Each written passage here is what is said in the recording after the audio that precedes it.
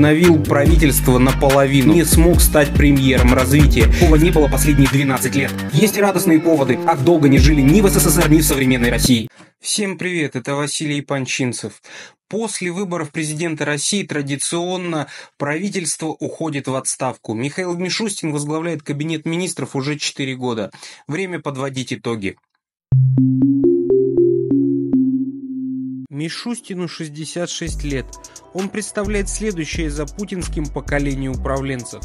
До назначения премьер-министром Михаил Мишустин возглавлял Федеральную налоговую службу, из которой сделал вместо полицейского ведомства приятный цифровой сервис – в 2020 году пост премьера решил покинуть Дмитрий Медведев, переместившись на специально созданный под него пост заместителя председателя Совета Безопасности.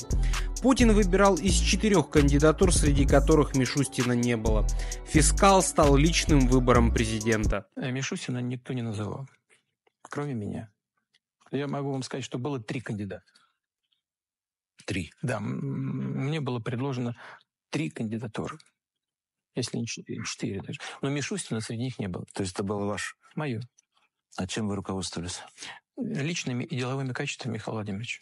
В 2020 году Михаил Мишустин обновил правительство наполовину.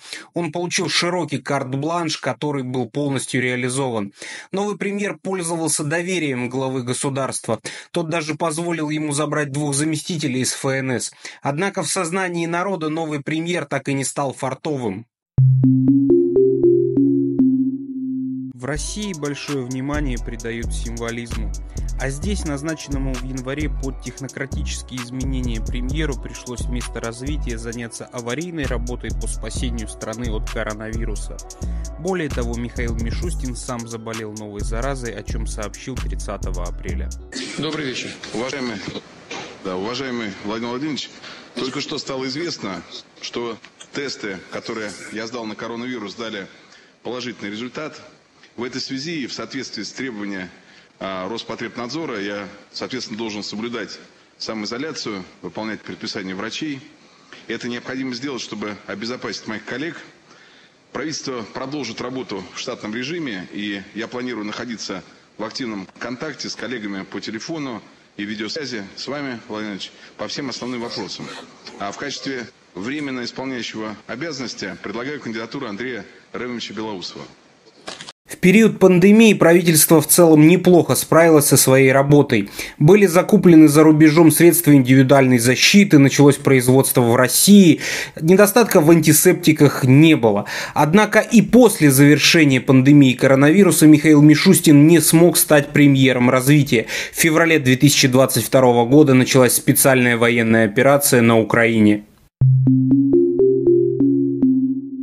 Интересно послушать, что говорил Мишустин на историческом заседании Совета Безопасности, на котором решался вопрос о признании ЛНР и ДНР. Я вот сейчас э, выслушал то, что сказал Николай Платонович. Считаю, необходимо, конечно, довести нашу позицию, если хотите катализировать ее, и в случае никаких подвижек, если не будет, признавать ЛНР и ДНР. Целом стоит признать, что правительство неплохо справилось со своими задачами. Был разрешен параллельный импорт, позволивший закрыть проблемные позиции по санкционным товарам, в частности по автомобилям и комплектующим. Экономика восстановилась уже к сентябрю 2023 года. Как отметил Мишустин в недавнем отчете перед Госдумой, в России выстроена с 2020 года новая технологичная система государственного управления, которая оказалась способна справиться с последствиями рекордных санкций. А теперь к важным экономическим показателям работы Мишустина.